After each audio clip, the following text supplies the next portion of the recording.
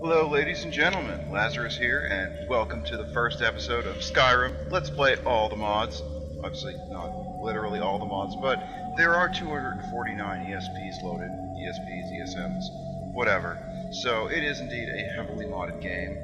Uh, I guess we're going to call this episode zero here because I want to just do a little introduction to the series and what it's going to be all about.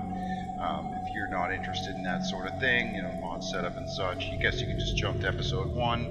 And uh, if not, and you really enjoy hearing my lovely voice, then uh, stay with us. This won't be too long. But um, yeah, as I was saying, this is a heavily modded Let's Play. It's going to be based loosely upon the step Skyrim configuration. If you're not familiar with it, just Google STEP, step.t.p and uh, you'll see a lovely site, a wiki that will give you instructions on how you can best mod your game to have, you know, uh, minimal crashes and disasters on your setup path.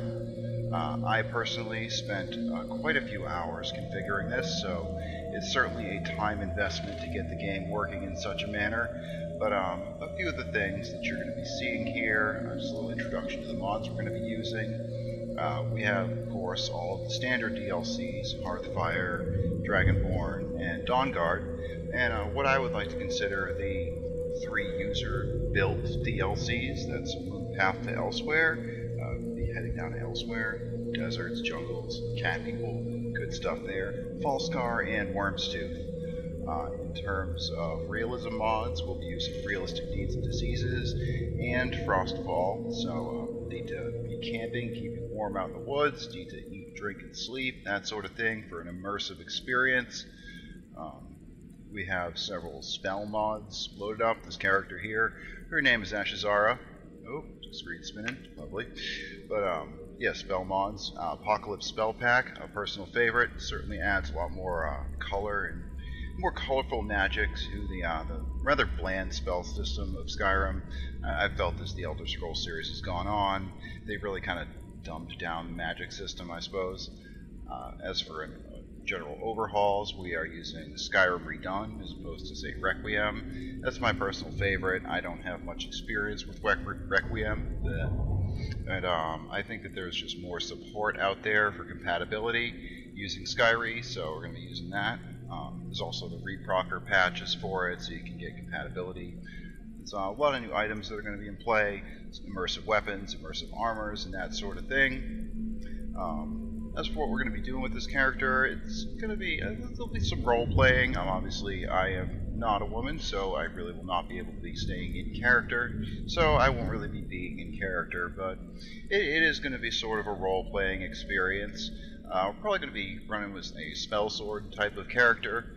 Wow, that's, that's enough of this spinning. Let's skip around. Get another look at her lovely face. But um, yeah, going to be running with a spell sword. Uh, you really need to mix and match your uh, your styles and techniques when you have this many mods because the game does become very difficult.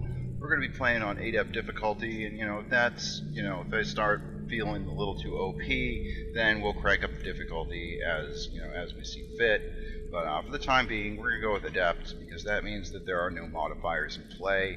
Everything, basically, when you change the difficulty in Skyrim, all that really does is it starts setting multipliers on things like enemy health and enemy damage. So right now we're going to start with all those multipliers just being zero, you know, the game having its default standard stats.